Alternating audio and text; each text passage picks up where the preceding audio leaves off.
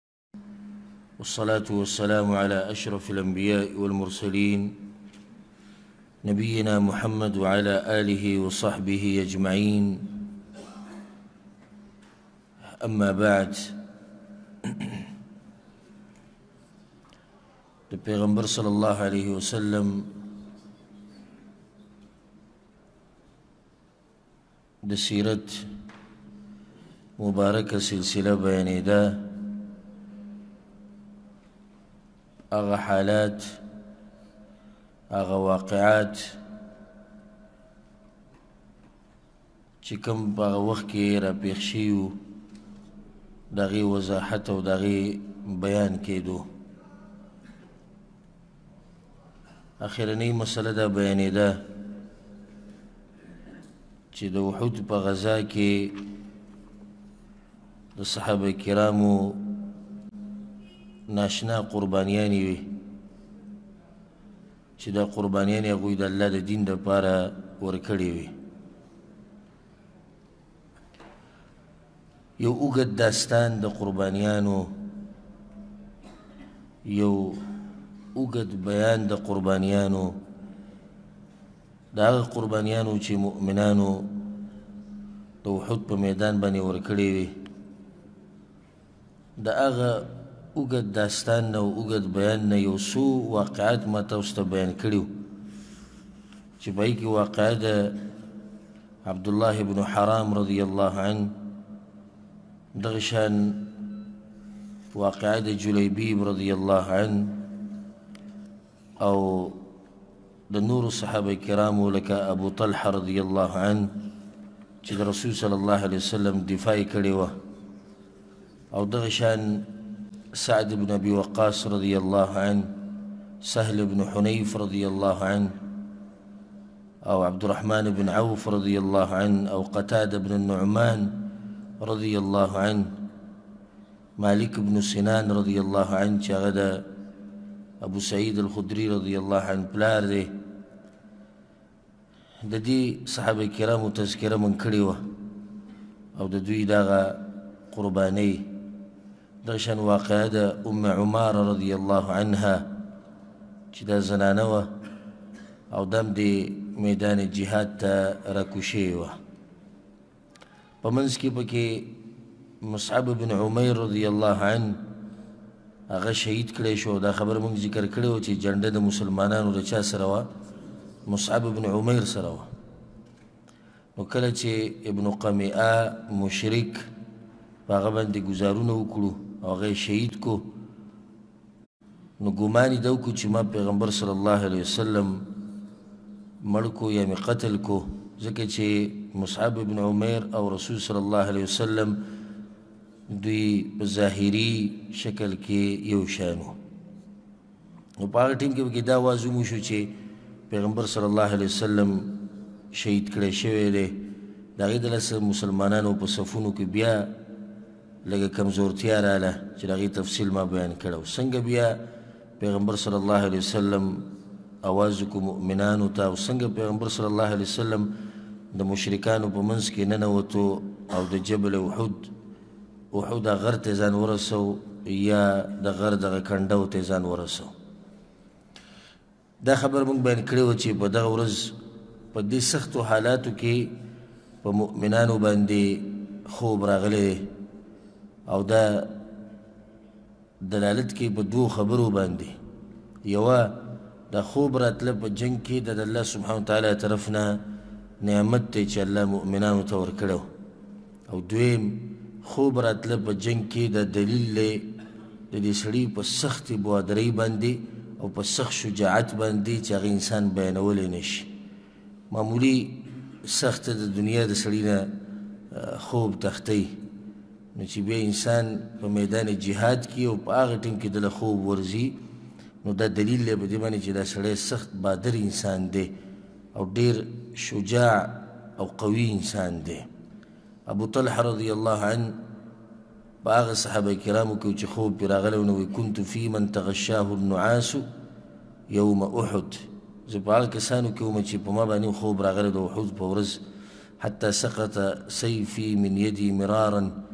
ویسوسو پرې دا تورم زما د لاس نه ولوېدلی وه رسول صلی الله علیه وسلم د احود غر چې کوم دی د کنډاو ته ځان رسولو او دغه ځای باندې مونږ خبره ختمه کړې وه د هغې نه بعد په دغه ځای کې یو ناشنا واقعه هغه دا راله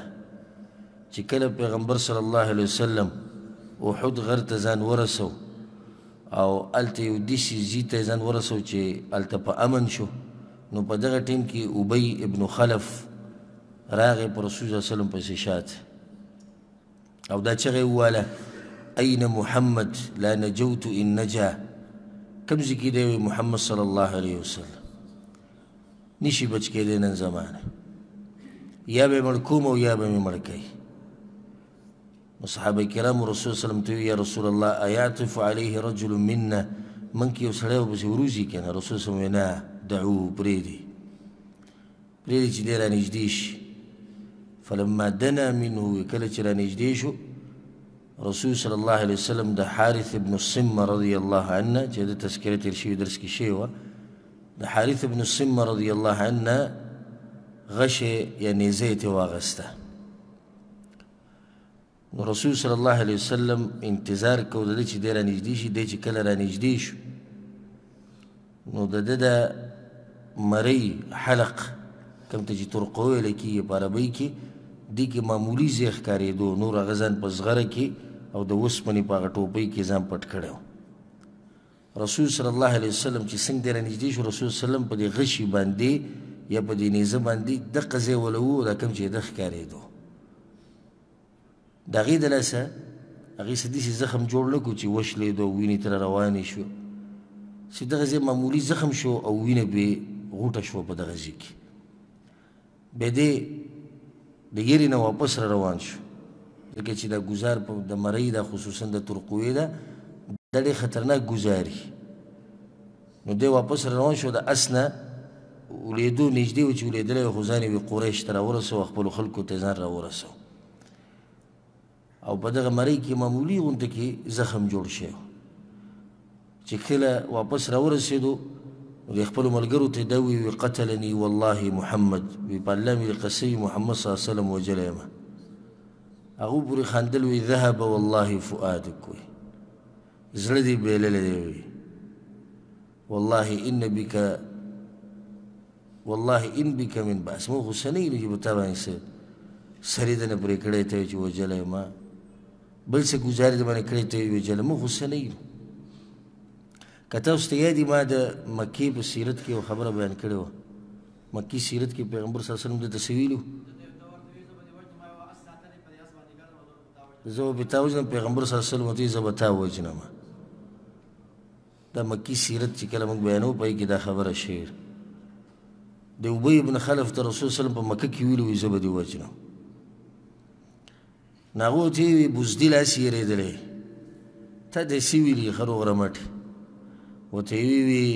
انه قد قا انه قد کان قال لي بمکه انا اقتلک وی ده ماته په مکه کې ویلي چې زه به دې وجنم فوالله لو بصق علی لقتلني په الله د قسم خورم که صرف لاړې را باندې را توکړي کنه ما مړ کوي دومره دی یریدلی و د هغه نه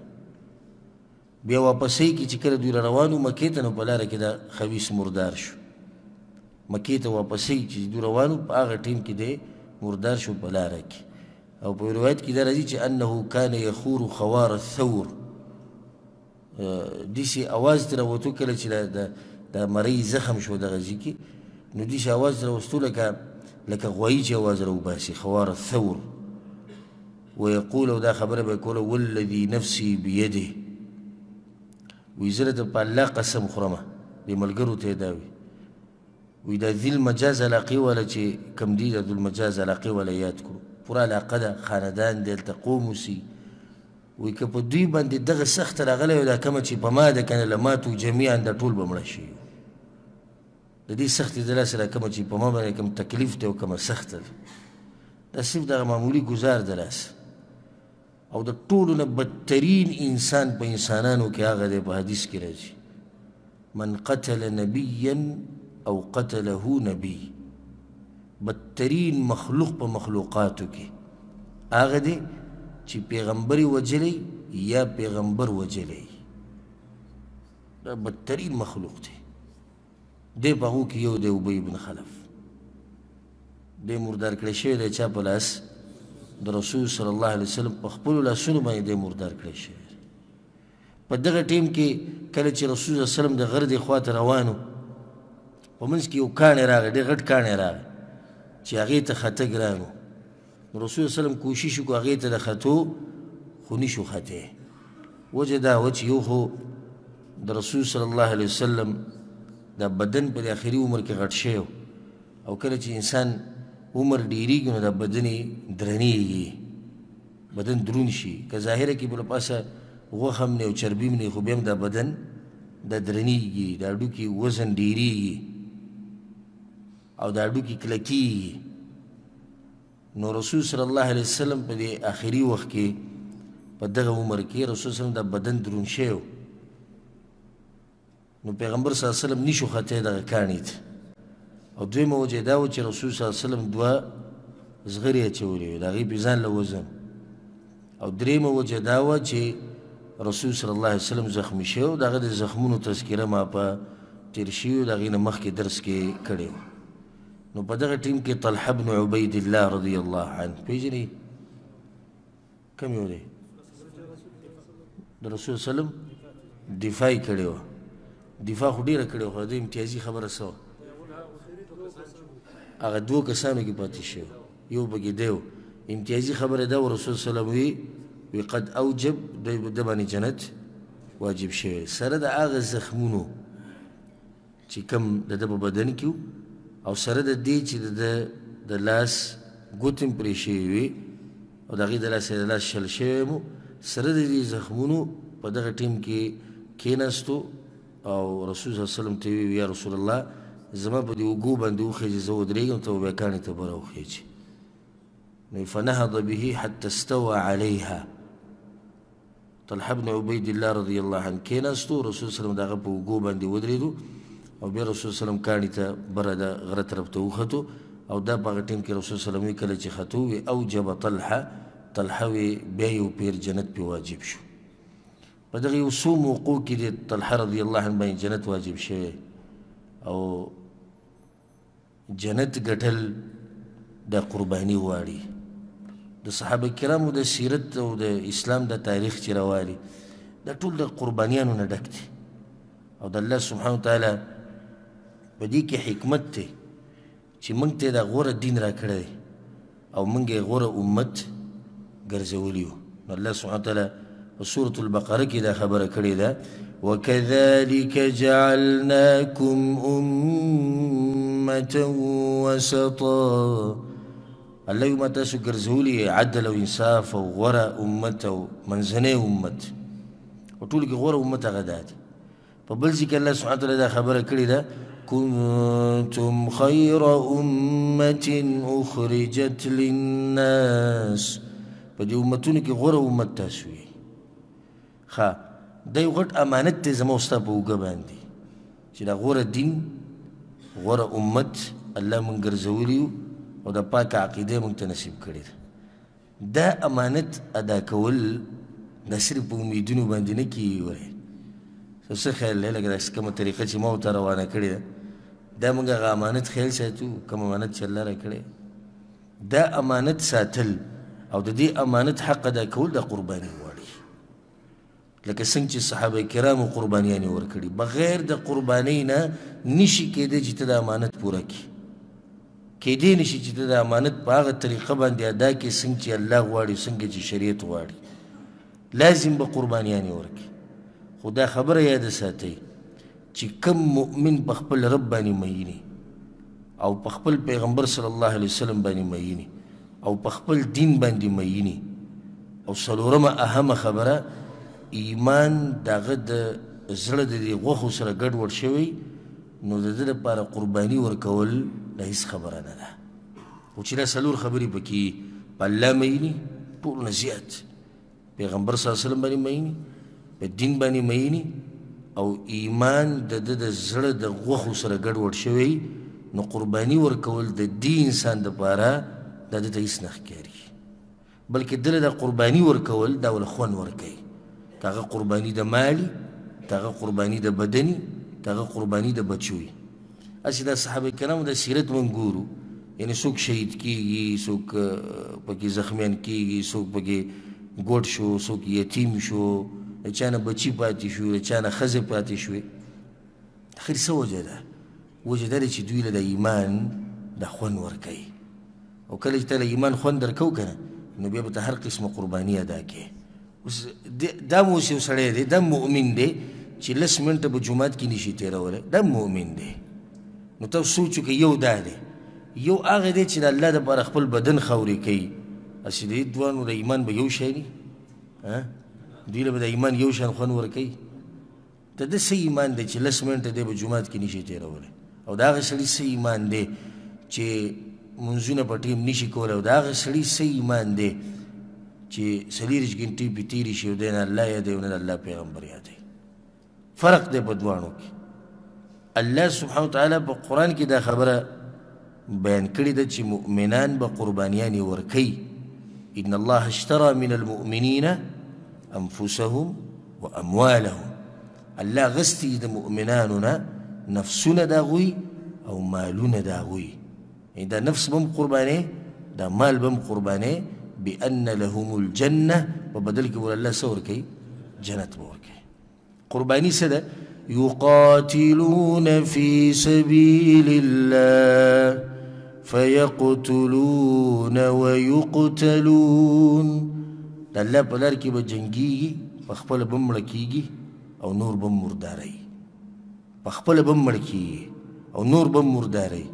مال به هم لګوي بدن به هم لګوي ساه به هم لګوي بچي به هم قرباني هر څه به قرباني هلته د جنت میلاویږي او هلته د امانت حق ادا کړو کوم امانت چې کوم امانت چې الله سبحانه وتعالی تعالی درکړی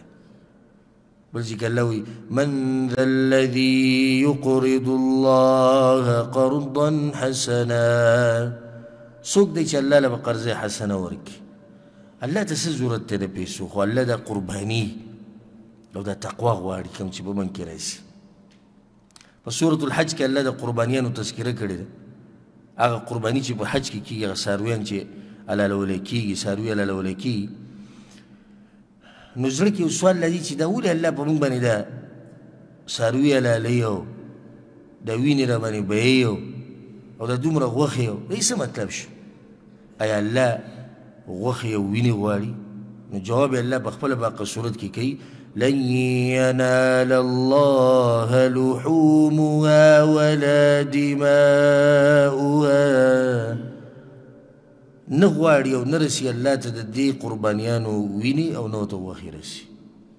بیا ولي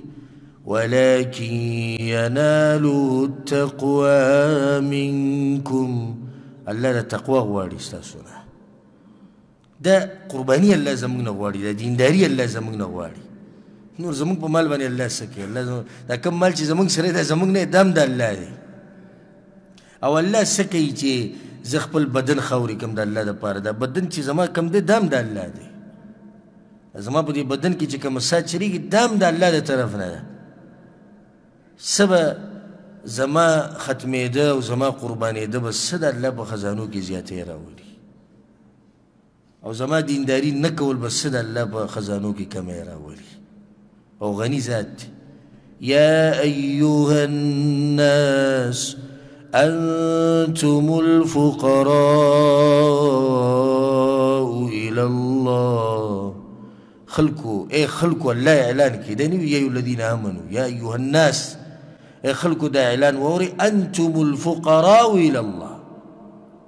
تاسو غریبانان یې او محتاج یې الله ته والله هو الغنی الحمید او الله غنی دی نه د چا عبادتونو ته ضرورت لري او نه چا ته ضرورت لري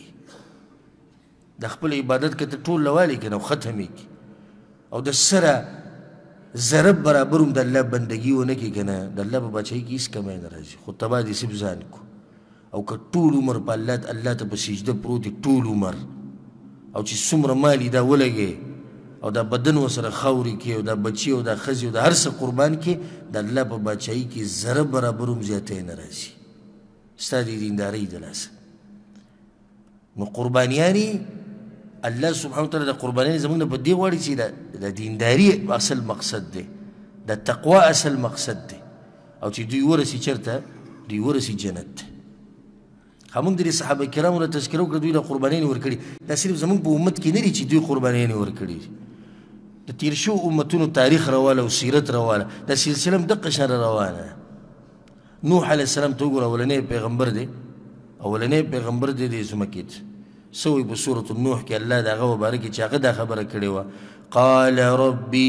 إني دعوت قومي ليلا ونهارا وی الله ما خپل قوم له دعوت ورکړې ده سحر او ماښام دې ته قرباني وایي که نه سهار او ماښام خپل وخت یې ورکړی دی خپل بدن یې قربان کړی دی د بچو او د ښځو هغه مزې او د هغوی نه مزې اخیسته دی قربان کړي دي او لګیا دی د خپل قوم په هدایت کې دې ته قرباني وایي که نه ښکلي واقعه د قرباني واقعه د هغه جادوګرانو کوم چې د موسی علیه السلام مقابلې له راغلي او د دې لپاره راغلي وو چې موږ به ګټو او فرعون ته دا ویلي وو موږ له به مال راکړي هغوی مال او خاص مقام به یې ستاسو هر څه به درکړي کله چې ورته پته ولګېده چې دا خو جادو نه دی کوم چې د موسی علیه السلام سره دی نو څه چلې وکړو ایمان یې قبول کړو او چی سنګه یی ایمان قبول کو دا ګوره تازه مسلمانان دی هغه مسلمانان به څه وی کوم چی پیدا شوی په اسلام کی دی او د الله د بندګۍ نه خبر هم نه دي چې د الله بندګي وایي سته دغه تازه مسلمانان دي دغه ټیم کې مسلمانان شوي فرعون ول دمکی ور کړو زه به تاسو پانسی کوم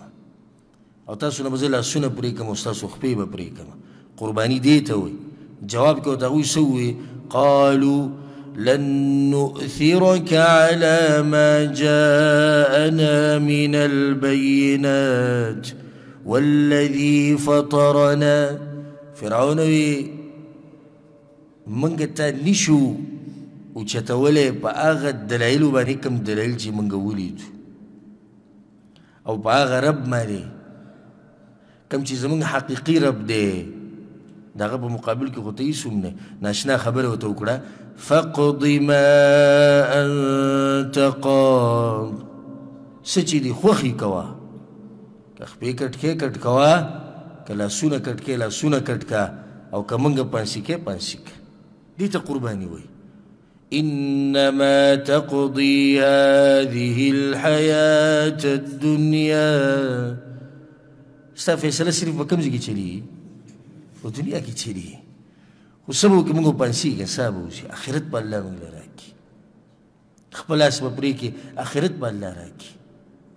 دغه قرباني ده. دا خبره به رانه ډېره اوږده شي، د تېر شوي امتونو نه ما تاسو ته ډېر زیات په سوونو مثالونه درته پېش کولای شم د الله په توفیق سره چې هغوی هم قربانیانې ورکړې دي او دین هر وخت کې قربانیانې غواړي او په هره زمانه کې الحمدلله داسې سړي شتي په مؤمنانو کې چې هغوی قربانیانې ورکړې دي د مالونو هم او د بدنونو هم. او دا سوچ مه کوی که چېرته زه بی دینه شم نو د دین به څه کیږي یوه اهمه خبره یاده ساتئ دا بس کسان په دې سوچ کې وي که چېرته زه دینداري ونه کړم نو چې ګوره د دې دین به څه کېږي ته دا غم مه کوه ته خپل غم وکړه چې ستا به څه کېږي دین د الله زورور دی او دین د الله غالب دی د قیامته پورې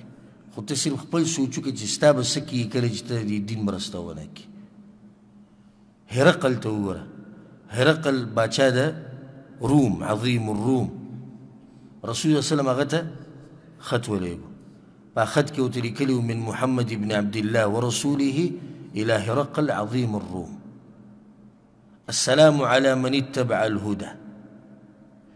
بیا ورته رسول صلی الله علیه وسلم وی و اسلام قبول که په سلامتیا کې بشي په حفاظت کې بشي او الله بدل اجر دو پیری درکې او که مخ دی واړو د اسلام نه نو د څومره چې ستا کشران دي د ټولو ګنام په تا باندې ده او په خپله به هم ته وایي بیا ورته هغه ایت لیکلی قل یا اهل الکتاب تعالو الى کلمة سواء بیننا و بینکم اوږد حدیث دی په صحیح بخاري کې او په نورو کتابونو کې راغلی حاصل د دې څه دی؟ کله چې ده دا خط وویلې هرقل نو دی وویې په هغه ټیم وی ما ته پته وه په الله مې دې قسم چې دا پیغمبر به راځي او کوم مسلمانانو چې له خط راوړه هغو ته یې وایي ستاسو نه یې ښه پېژنم او که چېرته زه رسېدی شوی دی پیغمبر ته نو ما به د ده خپې اینځلې د ده خپې به ما چاپي کولې ګوره دومره پې پوهه دی په دې مسله باندې وي که چېرته زه رسېدی شوې دغه پیغمبر ته نو زه به د هغه مخې ته داسې ورغلی وې چې ما به د هغه خدمت کولی د هغه قدمونه به ما اینځلې ولې اسلام قبول نه کو سوال دا زړګی چې دومره ته دی پیژني اسلام ولې نه قبلې ځکه چې دا بچایي به قربانول غواړي بچایي به څه غواړي قربانول غواړي دا مال د شهرت د دبدبه د نوم د درباریان د اسلحه د فوج هر څه به د نسی دا به قربانې نو د دغه پیغمبر خپې به وینځي چې کله ته هر څه قربان کی تیار نشو قربانی ته تیار نشو لار جهنم ته واقعا د ابو طالب رسول صلی الله علیه وسلم له دعوت ورکړه سو سو پیری د مرګ په وخت کې تر کلمه لا اله الا الله قامت پورې بزال لا تستا خبروک ښه واضح ورته هغه ووایي ولقد علمت بأن دين محمد من خير أديان البرية دينا ما ته ښه پته دی یقیني چې زما د دې ورواره چې کوم زما د ورواره چې کوم دین راوړی دی نو دا په دې دینونو کې غوره دین دی ښه راته پته ده مني ولې نه لولا الملامه او حذاري سبه لوجدتني سمحا بذاک مبینا خو د خلکو د ملامتیا نه وې کنه او د خلکو د بدی ردی ویل په ما پسې نه وې نو ما به مستد دین قبول کړي اوس ګور دین شتي او د ته پته لري چې دین څه دین دی حق دین دی خو قرباني غواړي قرباني د خپل منصب غواړي ابو طالب په قریش کې د غټ منصب لري ډیر مشر سړی دی ډیر مخوریز انسان دی دا قربانول غواړي دا منصب چې کم دی دا قربانول غواړي دا شهرت دا قربانول غواړي اله به دته دا دین نصیب شي خو هغه قربان کړی نه دی چې قرباني نه کو لاړ چرته جهنم ته نو دین څه غواړي قرباني غواړي همیشه دا سوچ کوئ څه چې د الله سره دي هغه زموږ دپاره غوره وي د هر څه نه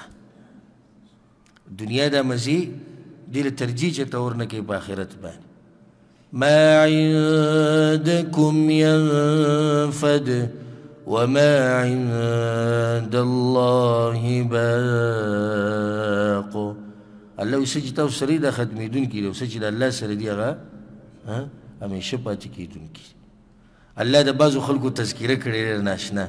رب العالمین په دې زړونو باندې عالم دی نو ناشنا حقایق د دې بعضو قومونو د بعضو خلکو یې بیان کړي دي الله سبحانه وتعالی وایي بعض هغه دي چې دا چغې به وایي چې په موږ باندې د جهاد لازم کړی شي یاره د جهاد رالی نو څومره خوند به یې کولی فلما کتب علیهم القتال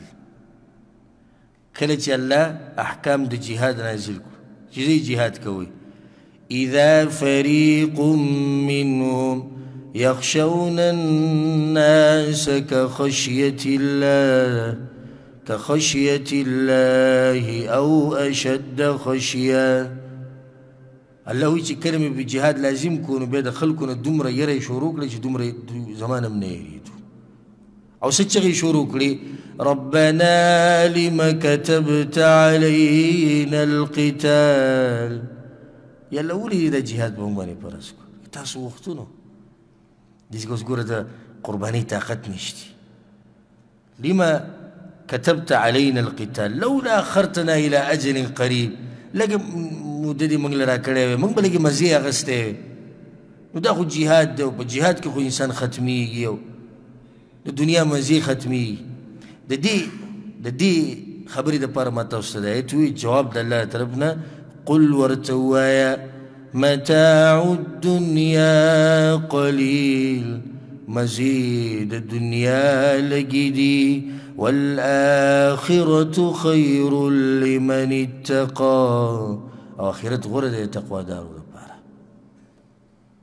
صحیح دی چې یو سړی جهاد له لاړ شي نو دی د دنیا د مزو نه ختم شي کیدای شي واپس را نه شي کیدای شي راشي واپس نیمګړی راشي دا بچی تی پاتې کیدای شي دا ښځه تی پاتې کیدای شي دا جیداد تی پاتې کیدای شي د ټولو دنیا تی پاتې کیدای شي خو متاع الدنيا قليل ډېری مزې ته پاتې شو که لږې لږې والآخرة خير لمن اتقى آخرت بیا غوره دی تقوا دارو لپاره الله دې دغه آخرت موږ ته نصیب کړي او الله سبحانه وتعالی دې موږ له توفیق راکړي د دین لپاره د قربانیانو ورکولو په دغه وخت کې مشرکانو اخرنۍ حمله وکړه کله چې رسول الله صلی الله علیه وسلم د احد د غر ته ورسید په هغه ټیم کې مشرکانو اخرنۍ حمله وکړه ډیره سخته حمله وکړه او هغه دي سي چې کله پیغمبر صلی الله علیه وسلم دغه کنډو ته ورسېدو کنه نو د مشرکینو یو لښکر راښکاره شو چې کوشش یې کو د غره ته د ختو مشران یې دوو ابو سفیان او دویم خالد بن الولید رضی الله عنهما په هغه ټیم دوی مسلمان شوي نو نو په هغه ټیم کې رسول سلم دا خبره وکړه اللهم انه لا ينبغي لهم ان يعلمون یا الله دوی چې د زمونږ نه اوچت نه شي راونه خیجي ګوره نو عمر بن الخطاب رضی الله عنه مخامخ شو دغه مشرکانو ته او دغه سره یو څو صحابه کرام د مهاجرینو نه او د مشرکان وشړل دغه زینه او غوی بر راونه خاتو په باسیرتونو کې د سرازي چې کړه د مشرکانو کوشش شروع کو د غرت د خاتو نو پیغمبر صلی الله علیه وسلم سعد ابن ابي وقاص ته وی سعد دا کسان وشړه د دې ځینه هغه یا رسول الله زه یو یم رسول صلی الله بیا وی سعد دا کسان وشړه د دې ځینه هغه یا رسول الله زه یو یم رسول صلی الله دریم پر بیا وی سعد دا کسان د دې ځینه وشړه هغه ټیم کې سعد وی ما د خپل دی د غشو د دې کڅوړې نه یو غش یې راواغستو او په یو کس مې برابر کو چې څنګه وویشت دا سړی مړ شو بیا مې هغه غش یې راواغستو دوی مې په وویشت هغه مړ شو بیا مې راواغستو درې مې په وویشت هغه مې مړ کو او دقه شان زه لګیا وم او هغوی د هغه ځینه وتښتېدو نو هغه غش یې بیا وایي ما راواغستو په اخره کې او دی وایي هذا سهم مبارک دا خو ډېر برکتي دی نو له ځان سره مې کېښودو او د مرګه پورې سعد رضی الله عنه سره دا غشی پروت او بیا د هغه د زامنو سره به و مشرکانو د واپسۍ تلو اراده وکړه ځکه چې هلته خو مؤمنان د غره طرف ته ورغلو او دوی چې څه کول هغه یې وکړو اخرنی کار هغوی دا وکړو او دا دوی ته پته نه وه دا کار یې په دې وکړو دوی خو وي چې پیغمبر صلی الله علیه وسلم هغه هم په دې جنګ کې شهید کړی شوی دی یا وجلی شوی دی نو دوی واپس راغلو تیاری کوله د وتو د پاره په دغه ټیم کې د دوی په ذهن کې یو فکره یو سوچ راغی او هغه ده چې د دې مسلمانانو د بدنونو مثله دې وکړی شي نو دا کار د هغوی زنانه وکړو نو هغه صحابه کرام کوم چې شهیدان شوي وو د هغوی نه یې پوزې پرې کړي او دغه شان د هغوی نه یې غوږونه پرې کړو او د هغوی نه یې عورتونه پرې کړو او د هغوی د خېټې شلولې وې او بیا یې د هغې نه امیلونه جوړ کړي وو نو دغه پوزو نه او د هغه غوږونو نه د هغې نه بیا امیلونه جوړ کړي وو خو دا هیڅ تکلیف هغوی له نه ورکوي دا هیڅ تکلیف دغه مؤمنانو له نه ورکوي کوم چې شهیدان شوي دي کله چې عبدالله بن زبیر رضی الله عنهما باندې حمله وشوه په مکه کې حجاج بن یوسف سره د هغه چې کوم اختلاف راغلی هغه د کعبې سره په هغه وخت کې د هغه مور اسما بنت ابي بکر رضی الله عنها بوډۍ شوې وه د سترګو د نظر یې تللی و نو د دې سره چې کوم ملګري و هغه بزدله و هغوی ورته دی یوازې پرېښود هلته او دا زړور زوی د زړورو زړور زوی د زړور عبد الله ابن الزبير رضی الله عنهما د پلار زبير ابن العوام دا د خپل پلار په شان نو مور په سراغه د مور نه مشوره غست وی مور ملګری و تختیدو ته څه وې هغه ته واپس نشي مقابله وکړه د دوی سره نو هغه ته یې مور په تا یېرېږم زه په ځان نه یېرېږم په تا یېرېږم چې که تا ته خبر زما د مرګ راورسي نو ته بوډۍ شوې کمزوري شوې د هغې د لاسه به ښه کمزوري شي او دویمه ده چې دوی ظالمان دي ما ته پته ده که چېرته یې زه مړ کړم نو بیا ما دغه شان نه پرېږدي دا بدن به راله بیا ټوکړې ټوکړې کوي هغه ورته یو تاریخي خبره وکړه وی زویه چې ګډ حلال کړی شي نو بیا چې د سرمن وباسي دوله تکلیف ورکوي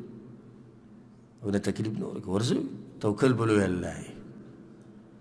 د هغه ورغه یوازې مقابله کوله او مکه شانو شو چې هغوی شهید کو او بیا ولا د بدن ټوکړي ټوکړي کړو د کعبې سره خوا کې جوړن کړو او اسماء بنت ابوبکر رضی الله عنها کله خبر شو چې زما زوی شهید کړی دی هغه ټوکړي ټوکړي کړی دی نو حجاج خدا کار دی لپاره کړو چې خلک ته عبرت واخلي خو امور چې رااله دغه بچی پاغه بدن باندې ویلا سو خو زړم ټوکړي ټوکړي پاغه ویلا سو دا خبره به کوله وي دي شي زوی به کوم مور راوړي لکه څنګه چې دا دی نو د هغې د لاسه هغوی په یره کې شو چې دا خو ښه ده دعوت ورکوي دې طرف ته او د ده سره ملګري ډېرېږي نو بیا د هغه ځای لرې کړو او ښخې کړو دا خبر ما دې پورې وکړه چې د مسلمانانو نه غوږونه پرې کول او د هغوی نه پوزې پرې کول یا د هغوی نه عورتونه پرې کول دې تکلیف نه ورکو دغه شهیدانو ته ځکه چې هغوی رسېدلي وو کوم ځای ته رسېدلي وو جنتونو ته الله یې دغه جنتونه موږ ته هم نصیب کړي سبحان الله د جنګ د ختمیدو پورې د مؤمنانو جذبه نه د ختمه شوی اخیری مرحله پورې مؤمنان خپ زور او شور سره جنگیدلی او په کې وسو واقعات کعب ابن مالک رضی الله عنه وی وی زه د وحود په ورځ باندې ولاړم او د لرې نه مې کتو چې د مشرکانو د مسلمانانو د جسمونو نه د پوزې او د غوږونه او دای ته پرې کول نو زه لږ مخکې تیر شوم چې تیر شوم نو یو مشرکانو یو کس را روانو او یو غټه زغره یې اچولې وه او ډېر تکړه سړی را روانو د باډۍ نه هم دنګ طاقتور زورور او د مسلمانانو په دې منځ کې داسې ګرځېدو دا کوم چې شهیدان شوي د هغوی نه هسې وینې تللې وي بیا چې د هغوی سره مثلا وکړه او د هغوی نه یې د اندامونه پرې کړو دا یې دلاسه د هغوی نه ډېرې وینې لاړې دا ګډوډ پراته وو ټول نو دی په منځ کې ګرځېدو دا وی استوسقو کما استوسقت جزر الغنم وی دي سي پرتی لګه ګړي بيزي چې پرتی وي وی خندل په دې مؤمنانو پوري एकदम زما نظر وی په یو بل سړي باندې پرې وته په مسلمانانو کې د ته په انتظار ولاړو پټ او په هغه باندې هم د هغه زغره وه خو وي ما چې کوم مقابله وکړه د دوی په ظاهره کې نو د ده سره ډېر څه وو هغه مسلمان سره څه نه وو زغره وه او د هغه سره توره وه نو زه په دوی پسې روان شوم چې زه ګورم دی د مسلمان سره څنګه مقابله کوي چې کله وي دا دواړه مخامخ شو نو وي دې مؤمن دا توره راوچته کړه چې څنګه وله دی ورغې او د تکبیر یو چغې وواله او د وسپنې په هغه ټوپۍ ښه د وسپنې ټوپۍ وه د اوسپنې په دې ټوپۍ ولا ګزار ورکو لاندې تیرا توره په دې کوناټو کې دې سره وسته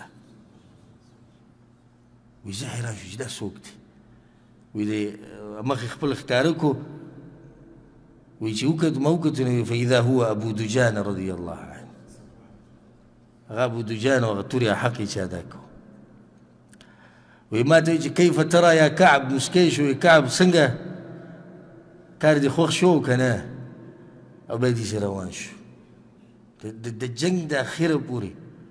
که هر قسمه سخته په مؤمنانو راغلي ده ما تاسو ته دغه سختو دغه تکالیفو تذکره مخکې کړې ده د هغې باوجود د مؤمنانو حوصلې هغه نه دي پسې شوي سبحان الله په هغه ورځ په تاریخ کې راځي چې زنانم میدان جهاد ته راکوشي انس بن مالک رضی الله عنه وی وی لقد رأیت عائشه وایي ما په خپلو سترګو عائشه رضي الله عنها لیدلې او د رسول صلی الله علیه وسلم بي بي و ام سلیم